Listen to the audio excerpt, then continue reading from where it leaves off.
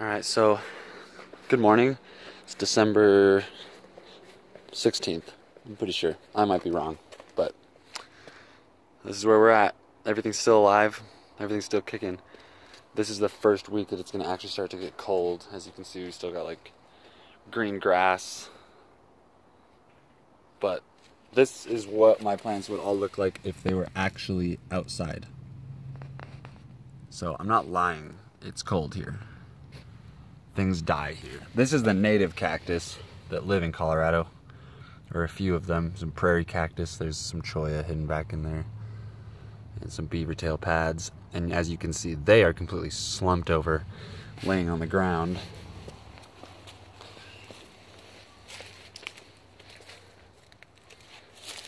This is some Opuntia ficus indica that I put out here to test it. It's um, it's mush. So yeah, you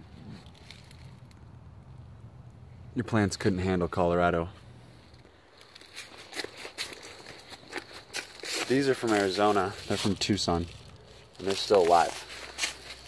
They're totally fine. They've been getting down to 20s and 30s every night. Their first test comes up here on Thursday. It's supposed to get the low is 6 and the high for the entire day is 21 degrees Fahrenheit. So we'll see how it goes.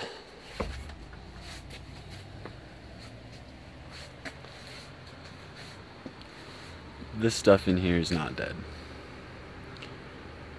And I don't let it get super duper warm in here.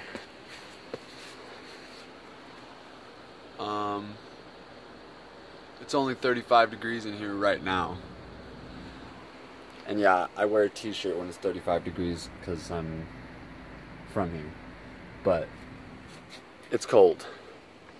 I don't let it stay hot.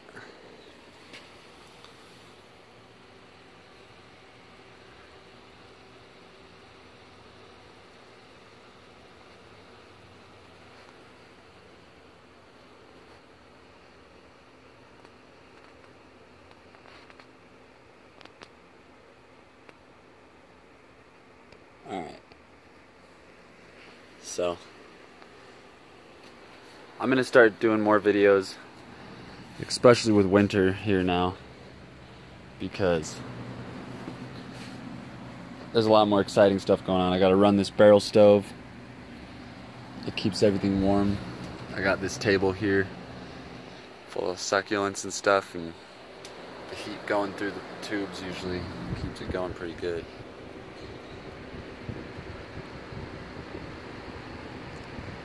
So, happy cactusing, guys. I will definitely be talking to you guys more, and we'll get some more videos going on here. Um, I'm going to try to have a theme generally, besides just doing vague walkthroughs randomly of my greenhouse, but um, transplanting, top dressing, grafting, winter dormancy, watering schedules all kinds of stuff like that. And having fun, because that's the only reason we do this, right? What would be the point if it wasn't fun? There wouldn't be much of a point. Alright, peace out, guys. Have fun.